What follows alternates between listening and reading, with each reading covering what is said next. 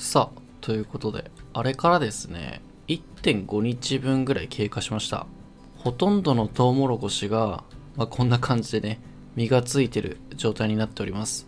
夜の間に、まあ、ヘルスがゼロになるのが嫌だったんで一応ね風力発電機を置いてまあ置ける場所にああいう風にシーリングライトを置いて、まあ、ライトを供給してました。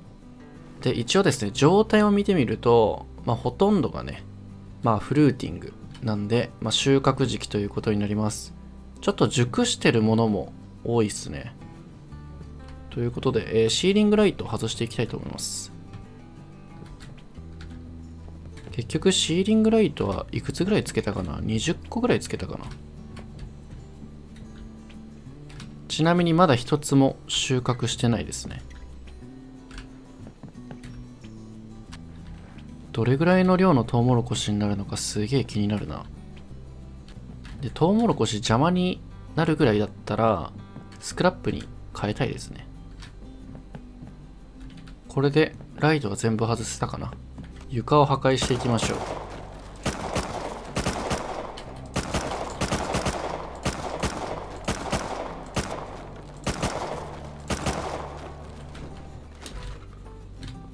ということで上から見てみたトウモロコシこんな感じになっております。ここに900のトウモロコシが生えてることになるね。で、えー、一番最初に言っていたここのプランターこれはね収穫せずに遺伝子を取っていきたいと思います。あーだいぶ熟しちゃってるね。長押ししてクローンを取る。このプランターはクローンを取ります。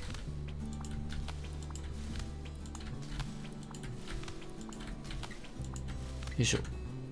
こんな感じ。まああとは収穫してってみるか。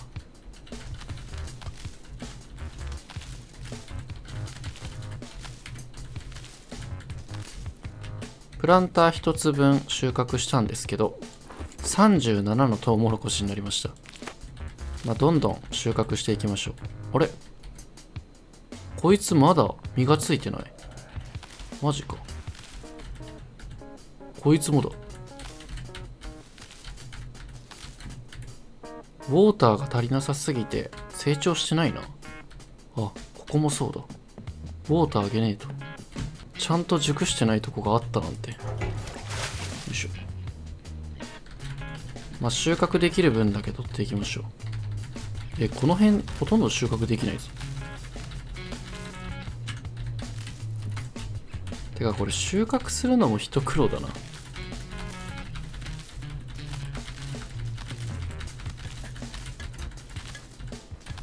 トウモロコシ落ちちゃってる。しまってこようか。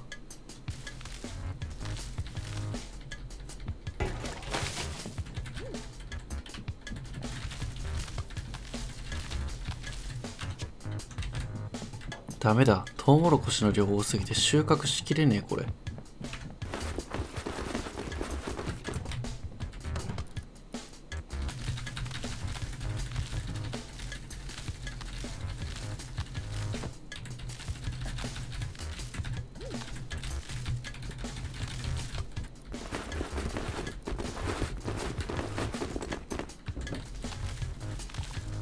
収穫がだるすぎる。この謎の動きで収穫していく。まあでも収穫できないプランターもまだありますね。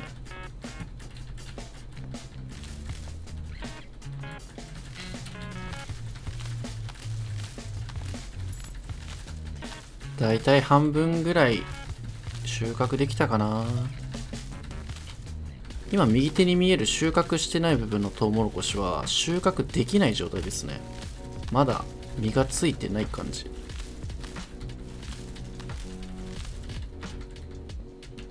も案外収穫できないやつが多いですね。3分の1ぐらいあるんじゃないか。あー水が足りてねえんだ。この辺やべえな。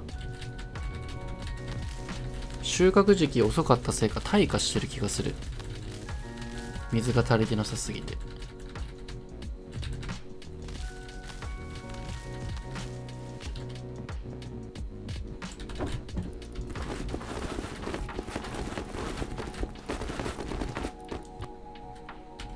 うわ絶対退化してる。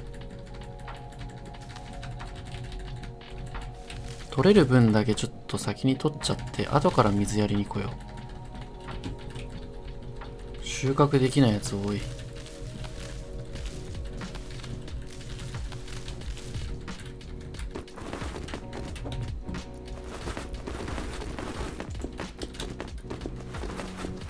ということで、えー、一通り収穫を終えました。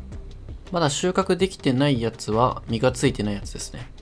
まあ、先ほども言ってたんですけど、3分の1ぐらいはまだ実がついてないかな。多分これね、水不足なんだよね。うん。水をあげないといけないね。まあでも、あんだけ取り残しあっても、一応トウモロコシはめちゃめちゃありますね。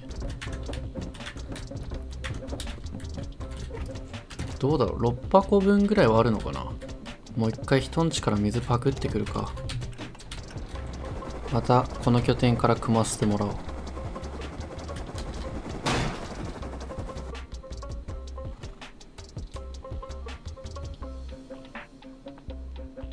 よし戻ろう。栽培したトウモロコシをバンディットキャンプに持ってってスクラップに変えよう。けどなあんだけのトウモロコシを一気に変えることは多分できないんだよね。売り切れちゃって。いや何回かに分けるのもめんどくさいしな、まあ、一回インベントリ持てる分だけ持ってってみて。それで得たスクラップでギャンブルしちゃおうかな。よいしょ。このプランター丸々だな。ここ。これ 5000ml 全部が入るわけじゃないのか2500か。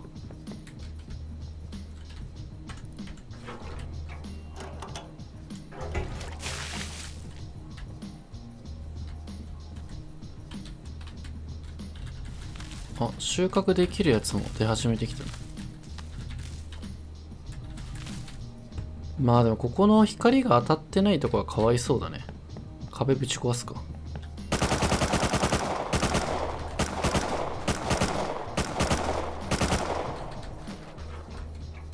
え？これでもライトゼロなの？なんで？思いっきり当たってるやん。プランターによってなのかな？できたトウモロコシを食べる。美味しい。自分が育てたトウモロコシ。やばいな。バンディットキャンプでこれら一気に全部変えれたら神なんだけどね。多分交換できる数が決まっちゃってるから収穫だけで1日使っちゃったよ。ということで着きました。え？10だけ？150個の交換？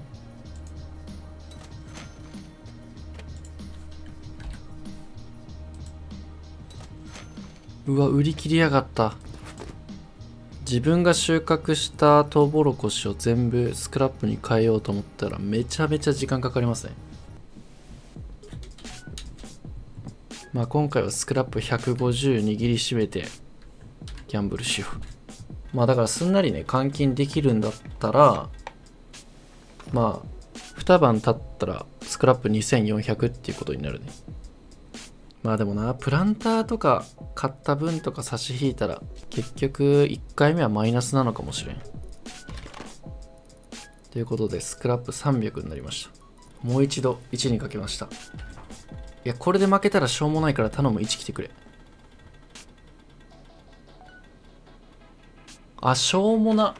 ということで、無事拠点に戻ってきました。大農業時代、すごいね、え時間と労力をかけてやったんですけども。まあ結果楽しかったかな。